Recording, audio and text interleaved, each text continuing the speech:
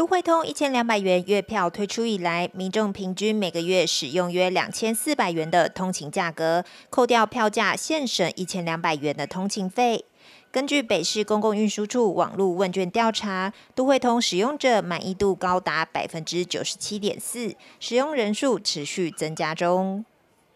我们大概实施满三个月哈，除了第一个月预售，在六月的时候预售就卖了十二万张。那在七月卖了四十五万张，那在八月卖了四十九万张，那在九月的部分哦，因为最后年假的部分哦，就是中秋节，那购买人潮比较少，会延到十月去买，大概也卖了四十快将近快四十五万张，哦，整体大概卖了快一百五十万张的部分，那使用人次已经达大概达一点二亿左右。哎，这个部分我们是用透过定期票，呃不，就是我们都会通它的借期票卡，啊，使用满三十天以后。那我们去算出的平均哦，平均大概是一个人一张卡大概是两千四百块，然后相较民众扣掉他的自付一千二以后，大概就是对民众来讲就是至少平均省一千两百元。我们的新增十六条路线，那这条这些路线主要是在第一阶段呢，因为它是跨市的路线，它有跨到新竹。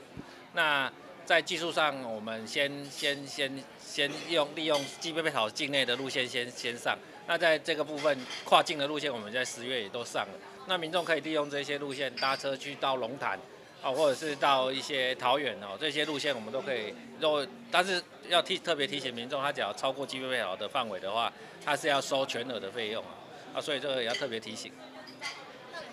台北捷运八月日均运量一百九十万人次，较去年同期日均量一百六十三万人次有所成长，连 U Bike 租借次数也较同期成长百分之十三。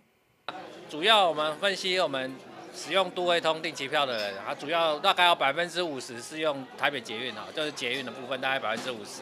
那有百分之三十大概是用公车。那依据我们。诶，捷运的这边的运量资料来看的话，就今年八月跟去年同期来比的话，也正在增加了百分之快二十左右。哦，这个这个，所以说我们这个都我们都有持续在做一些观察。都会通上线九十四天，贩售约一百五十一点七万张，为持续增加使用人数，也扩大服务范围，扩充十六条客运路线，欢迎民众多搭乘大众运输工具，减碳同时省荷包。